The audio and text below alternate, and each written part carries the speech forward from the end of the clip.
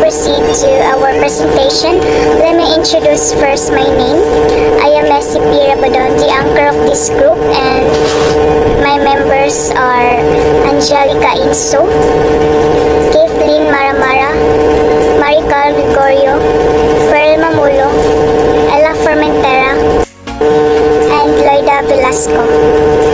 And for today's presentation, we're going to present to you management and structuring of the classroom. And in, in classroom management, we're going to choose a misbehavior of the classroom and we choose the misbehavior bullying. What is bullying? What are the cause and effect of bullying? And what is the solution of this misbehavior? To the discussion, um, let us show you a short video clip of, of a scenario of bullying. Everyone is picking on him. The cyberbullying gets worse. Boys from his school have been making life difficult. Around the world, one in every three students are bullied, and many more see others being bullied. Victims don't know who to turn to and become isolated and depressed. They start missing classes or drop out of school altogether. Physical bullying is most common, but children can also be exposed to psychological or sexual bullying in school. In an online space, it is known as cyberbullying. Countries cannot achieve inclusive and equitable quality education for all if learners are being bullied at school. There is a way to change this. We can stop bullying by adopting a whole education approach, where we all play a role in promoting a safe and supportive school environment.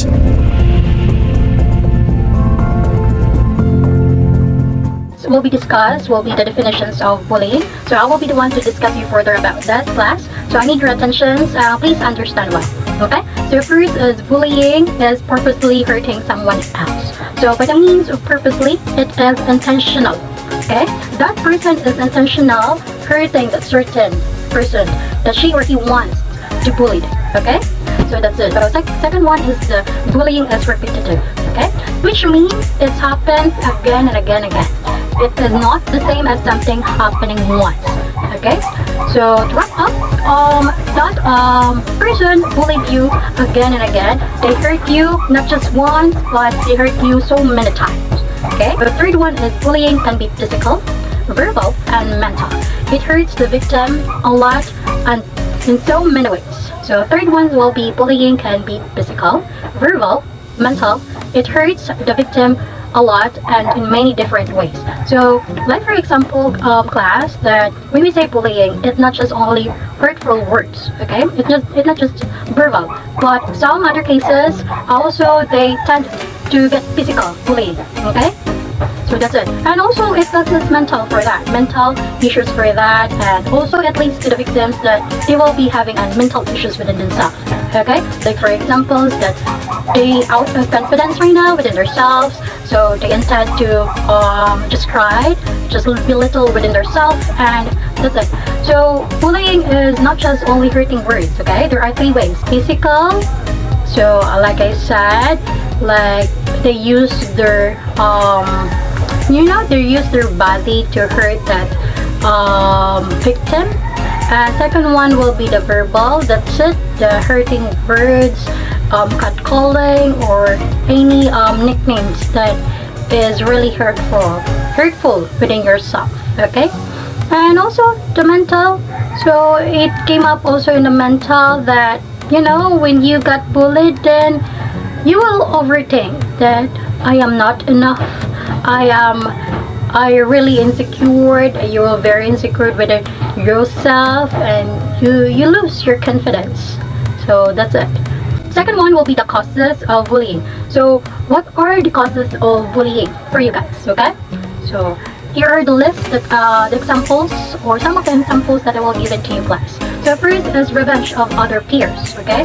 For example, that person is bullying you, like um, that person is catcalling you or giving you nicknames, bad nicknames that really hurts your feelings. As you as a person, then you will be revenge. Okay. So that's it. So second one is for entertainment purposes. Okay? So like for example, pabida-bida. So why muna siya. So what is that is the one of the example for so for entertainment purposes. Like for example, social media there are lots of means. So third is to get a love from their peers. Okay?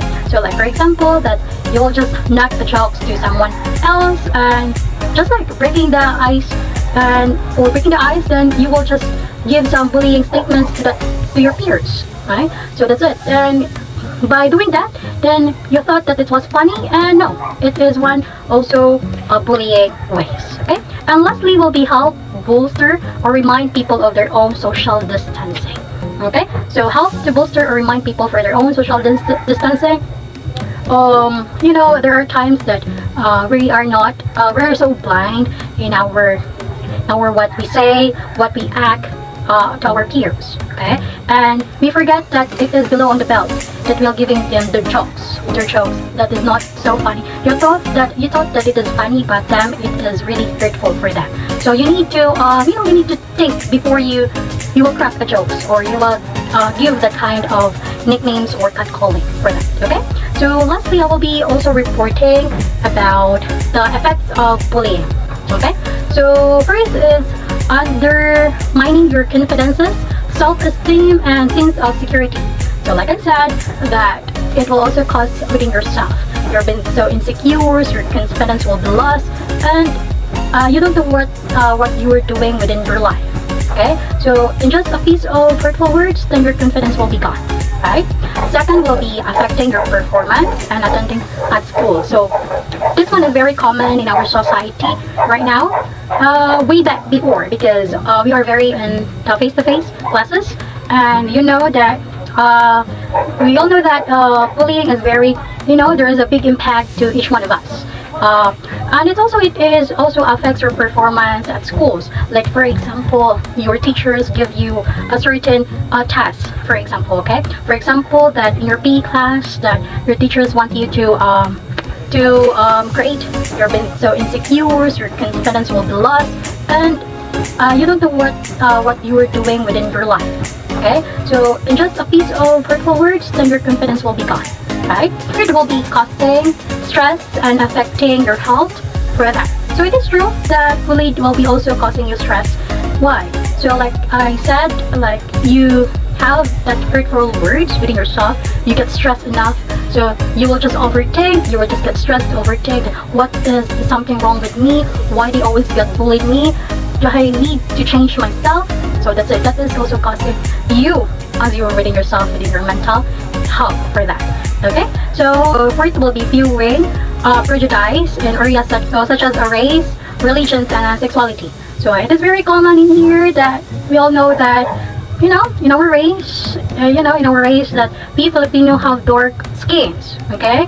You know what? Uh, Filipino was born in dark or brown, you know, brown um, skin. So that is our race okay? And we also have black hairs for that. So it is also been bullied for that because we all know uh, class that our definitions of beauties will be always white. Right? White skin for that one on uh, shiny um, you know blonde hair for that so you also get bullied for that when you are so dark for that in your race for that so it got bullied for that. And also in our religions religions right? So like for example that religions we also have lots of um, bullied or our religions like Muslim right? Who um, you know um, to bully them. Like they always um, also uh, wear the hijab if I'm not mistaken that is um, they called to and they also you know they also use their attire for that every day. So that's it. So and also the sexualities you know that uh, it is very very uh, famous to bully. Not uh, you know and also the sexualities we all know that sexuality is very um, center also of one of the bullied in our society. So like for example that person is a gay or that person is you know is a lesbian then we tend to uh, bully that person for that to hurt their feelings so intentionally for that okay? So lastly is painting a societal thoughts. So that's it. So you know in so many ways there are lots of ways uh, bullied for that. And you know to in the end that you will not take those hurtful words. They say to you, then hurtful words that you, um, you know, you uh, take all of yourself, those um, those uh, really really hurtful that you're not able to uh, to take up within yourself then you will be intended to be suicidal. You'll just think that i'm not worthy enough within my existence then i'll just finish in here okay? So plus uh, be mindful enough that um, you need to think okay? You need to think and you need also to remind yourself that nobody's perfect in this world okay? This world. So if you're having a hard time right now that's okay. It's just only chaos okay? So you need to chill out so class, um, that's it. That is um, that is the effect, that is the cause, and that is the definitions of bullying. So to wrap up in all, and I will just leave you a message in here also.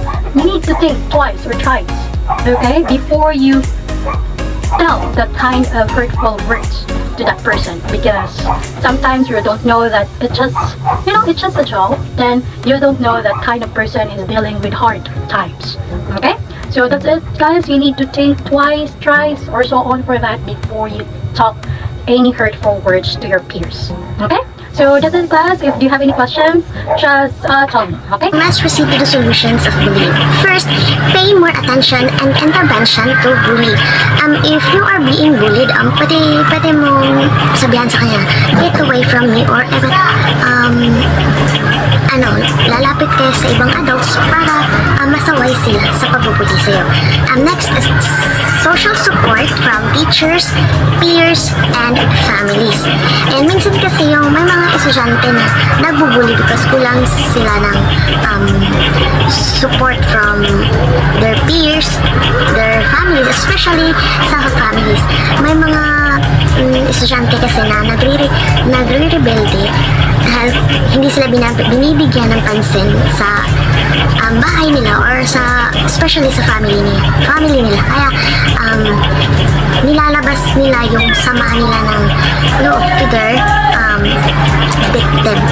Ayan the third one is building up positive relations with parents. Para if ever may may um, nabubulis isa man sa iyong mga mga estudyante is um, madali kang makalapit sa mga sa parents. Then reinforce education about self-protection. Pwede mo ito i-discuss sa klase mo.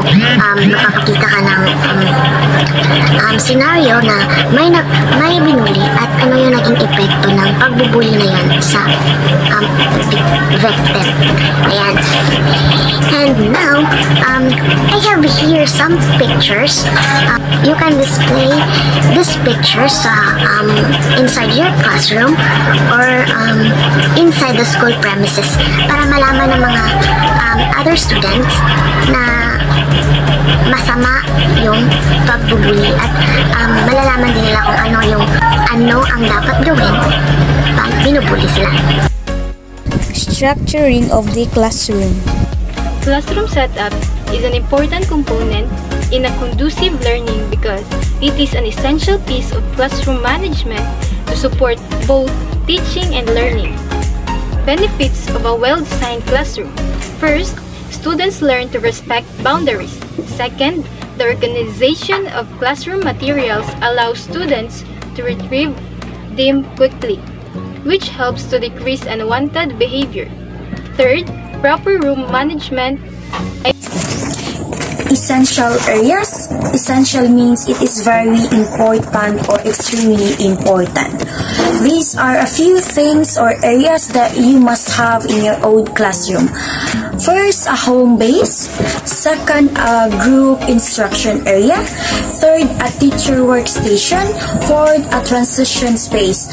Here we'll take a closer look at how you can arrange each of these specific areas each student needs to have their own space or have it in their own table.